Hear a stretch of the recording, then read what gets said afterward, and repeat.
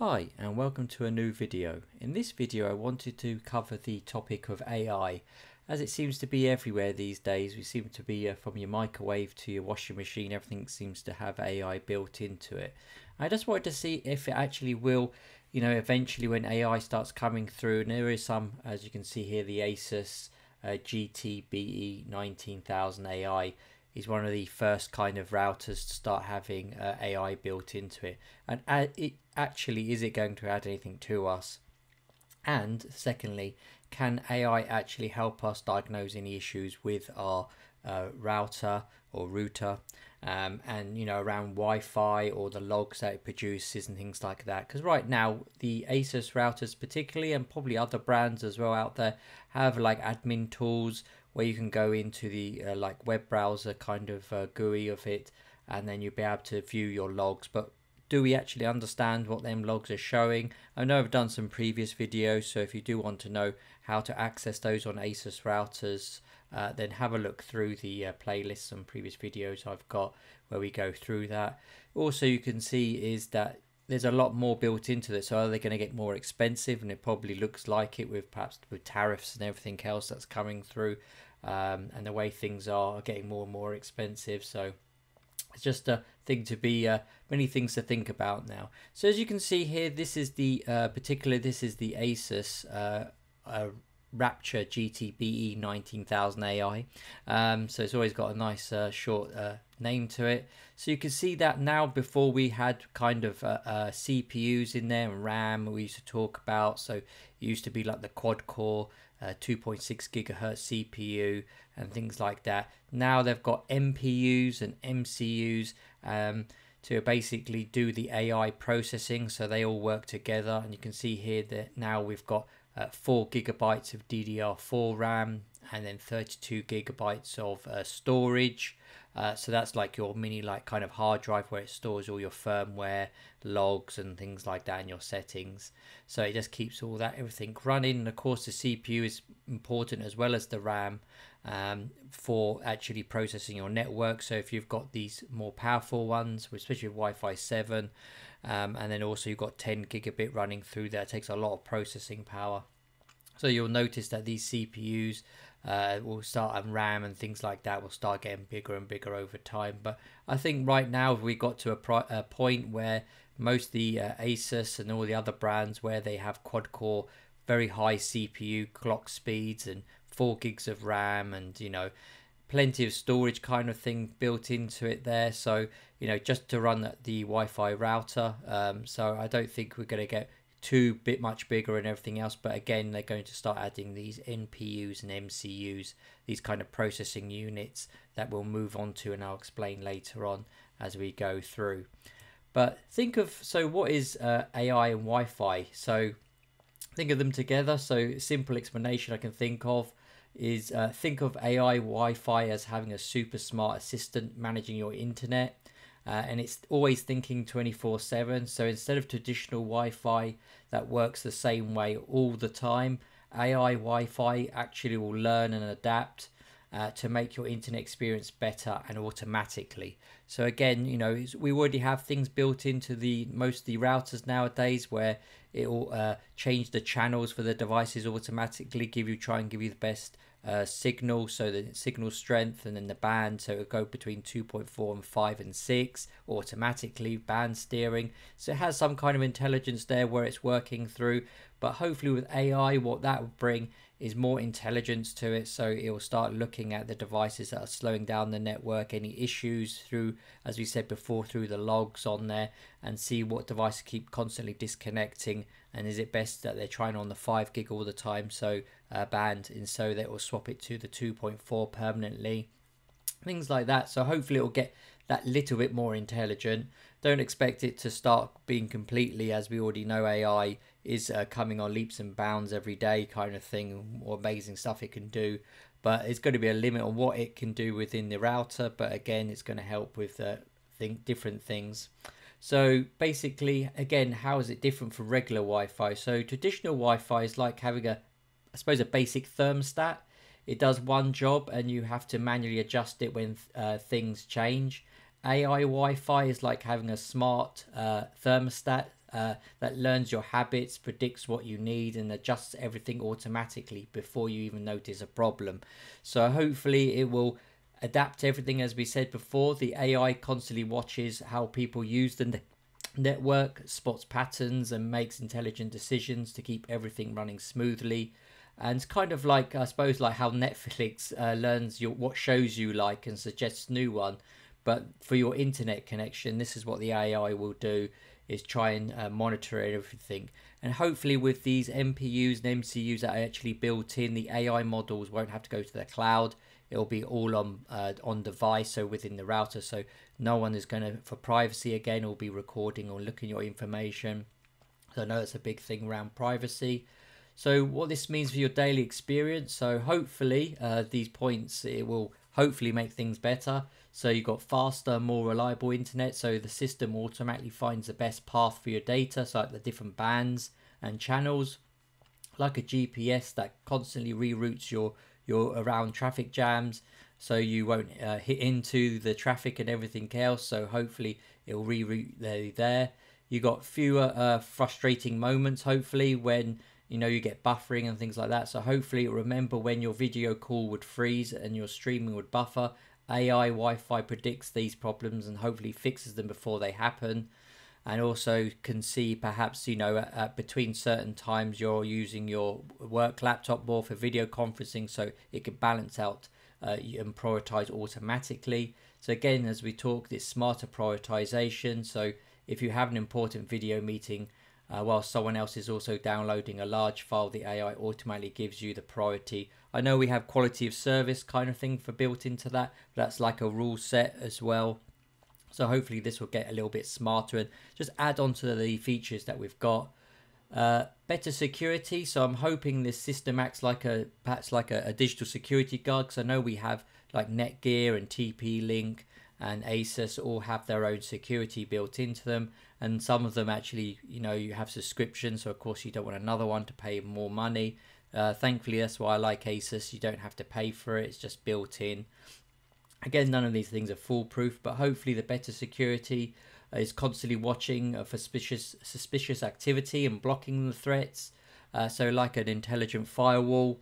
Um, so hopefully, again, it's just adding onto the features that we already have built in. Hopefully, for real world benefits, um, you actually notice so kind of thing like streaming uh, and seamless moments when you sort of like having your uh, video calls, as we said, AI will smooth out all the drops and everything else. Hopefully, for IT, uh, every time something goes wrong, the AI will fix the problems automatically, so you won't have to log into your router or restart it. If it feels like it needs a restart, it will automatically restart for you, hopefully prompt you before it does it. Again, predicting maintenance, it's going to basically try and work out the best Wi-Fi signals and everything else. Um, and then to basically appreciate the AI, hopefully how it works is to understand the different types of computer brains that make it possible. So these processing units work together like a team, um, basically of specialists of each of their tasks.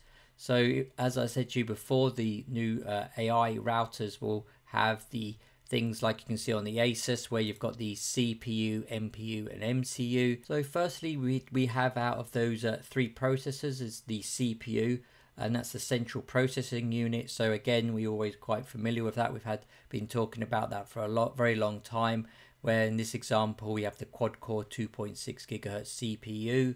Um, so again, the central processing unit, you can think of it as like a general manager of a company. It's the main brain that coordinates everything. Think of it as the person who makes decisions and manages tasks and keeps the whole operation running smoothly. CPUs are excellent at handling complex decisions and managing multiple tasks at once. Um, again, they are you know a good uh, a CPU. They can process lots of things very fast and everything else, but they can only do certain instructions. In AI Wi-Fi system, the CPU handles basically the overall coordination, managing the network settings, making high level decisions about how to route your traffic and ensuring all the different components work together properly. So again, that's around your the actual processing, you know, your networking for your Ethernet ports and things like that. Moving on secondly to the NPU. So this is the AI specialist. So this is the neural processing unit. Uh, so it sounds very uh, very fussy, very fancy. So the NPU is the AI specialist of the team. Uh, while a CPU is like a general manager, you can handle any task. An NPU is like a hiring a specialist who's incredibly good at one specific thing, and that's artificial intelligence and machine learning. NPUs are designed specifically to think like the human brain, so they're processing information in a way that mimics our neurons. Uh, they're incredibly efficient at recognizing patterns, making predictions, and learning from data exactly what makes AI Wi Fi so smart. An NPU can process AI tasks 10 to 50 times more efficiently than other processors, so uh, while using much less power as well. So in your AI Wi-Fi system, for example, the NPU is constantly analyzing network patterns, predicting what users will need next, and making split-second decisions to optimize your performance. So it's it's what enables a system to learn your habits and automatically improve your internet experience. Again, it can do it really quick. It's constantly uh, looking at analyzing your patterns. And again, hopefully having this processor built into the actual router. You won't go into the cloud, so everything will be processed on the actual router and on device. So hopefully making it a bit more secure for your privacy as well. And lastly, the MCU. So that's a dedicated worker. You can think of it. So it's a microcontroller unit. It's like a dedicated worker who handles specific focused tasks. So unlike the CPU that manages everything uh, or manages everything, or the NPU that handles complex AI thinking. An MCU is designed to control simple but important functions uh, reliable and efficiently. So the MCUs are perfect for real-time tasks that need to happen immediately without delay. They're like the work who monitors the temperature, controls the lights, or manages your door locks. Simple tasks that need to be done consistently.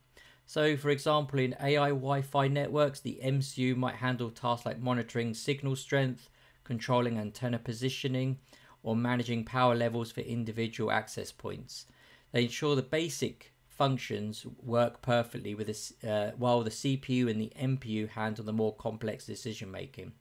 So it's very complex nowadays. I mean, you think of a router just Wi-Fi before, and now we've got all these things with AI, NPUs, and MCUs, all these extra processors and quad core, you know, pros.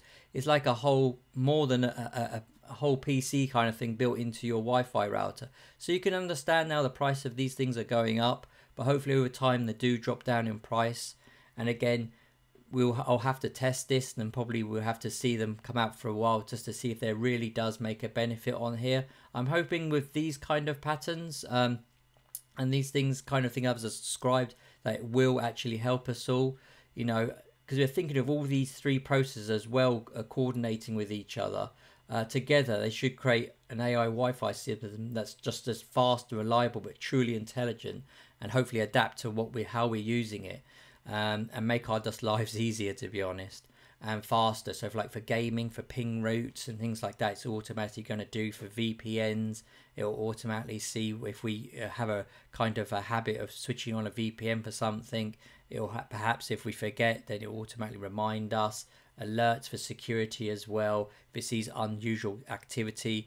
So it also, you know, for example, hopefully with the AI, it'll recognize patterns. So it'll see a smart plug using one gigabyte of data a day, and understand that's very unusual. So it will alert you to it automatically, or even block it automatically, or do something, you know, to put extra security around it to ring fence it.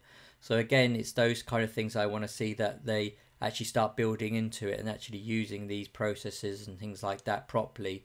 And hopefully, it'll make our lives easier. Again, this will probably come to the very high end routers um, first and then hopefully trickle down. Um, as we can see, as I said already with this Asus one, you can see this uh, beast of a router. You know, they're not small and it's probably going to be very expensive. But we have their D-Link so they have some of their smaller ones as well. They've got uh, starting to have AI in them. Um, so you can see here their Pro AI routers they've got, and it's Wi-Fi 6. And basically, they're using most of this AI right now for mesh networking, so it's intelligent if you've got multiple of these around your house. Again, you can see here basically the Eagle Pro AI series uh, brings AI enhanced capabilities to optimize your Wi Fi. Again, all of this is quite sort of like sales kind of thing, but hopefully you know the people behind are actually putting some thought into it, and I'm sure they are. And so it will actually bring better things and experience for us in Wi-Fi and, and faster speeds for, from gaming to video streaming, just having multiple devices connected. And you can see here as well with TP-Link, they've got AI-driven mesh networks as well. So you can see here how they're hopefully bringing that as well, you know, through you know thicker walls and how it's going to actually do band steering and things like that, where we've discussed before, and how it can see here and do optimize with the AI, so it's much more intelligent how it's redirecting uh, traffic on the network. And again, you can see here that some of the new ones with the AI, so like with the Asus, this actually has a new dashboard. I think it's Asus WRT 6.0 is the new firmware in this. And it actually has a, built-in dashboard that actually tells you where the interference is coming from. So you can see here the microwave is affecting the Wi-Fi, so it redirect it. Um, or any other device that's actually uh, affecting it. So you can, hopefully that will bring everything alive and everything else to these things. So as we can see, if we go back to the AI mesh here, you can see again They've got an AI assistant as well. So and they're coming to multiple and even to uh, range extenders. So hopefully, as we know, these range extenders really aren't worth it most of the time. If you're trying to, if it's just basic small speeds and you want to extend it across the house, then it's good. But hopefully, these will actually bring more information to it, as you can see here, and extend it and make life uh, easier for it. But I would say if you are looking for an AI router, just make sure that you are do the specifications, check to make sure they do have a C. Well, always good to have a CPU, but make sure they have an NPU and MCU kind of thing. Actually, ha- actually have the hardware to run the AI, and it's not just AI. That's kind of like just a ter- general term they've just put into it just to make it sound fancy. Um, and actually, it's got the hardware built into it. So I'd like to uh, hear from your comments as well, what you think about AI and how that's going to bring into Wi-Fi routers. Again, um, will, will you be buying one? Because I know as they're going to be quite expensive. And it's going to be, is it worth the upgrade if you've already got a Wi Fi 6, 6E or Wi Fi 7 router? And would you buy, purposely go and buy one because it's got AI built into it? I personally probably right now, probably not. Um, I would probably buy one to test and just uh, ha- have a look and then uh, and to uh, see what how it actually works and compares to the current Wi-Fi 7 and Wi-Fi 6E routers. But I think right now, I think uh, with the Wi-Fi 7 and 6E, to be honest, um, they're plenty fast, and most of the devices are still. I, I even get today um, still uh, 2.4 gigahertz, so they're not even reaching the five, uh, let alone the six, uh, or using Wi-Fi 7 technology yet. But again, um, thanks for watching, and I hope you found this video useful, and have a great day.